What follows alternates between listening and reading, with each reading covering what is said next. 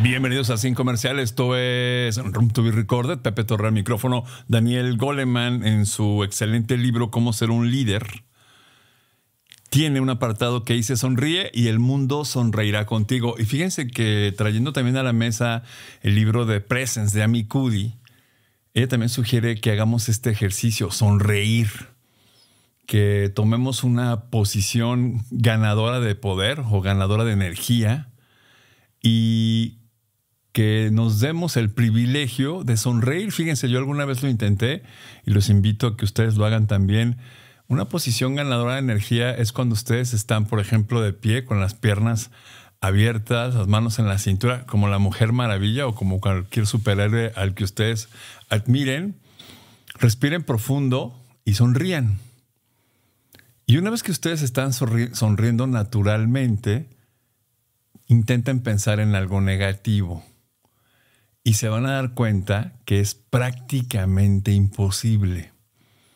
¿Y qué quiere decir esto? Que cuando estamos sonriendo va a ser poco probable que nosotros emitamos energía negativa, pero también va a ser poco probable que la captemos. Y también ustedes van a dar cuenta que cuando ustedes le sonríen al mundo, sí cambia. Yo hago un ejercicio que me enseñó uno de mis instructores hace ya muchos años, en el que me decía, Pepe, tú tienes que decir 23 veces buenos días todos los días. La cantidad de veces ustedes escójanla.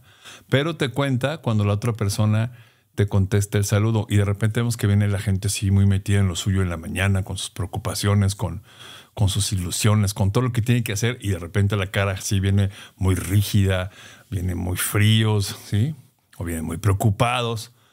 Y con simple y sencillamente ustedes decirles buenos días y sonreír, la cosa cambia.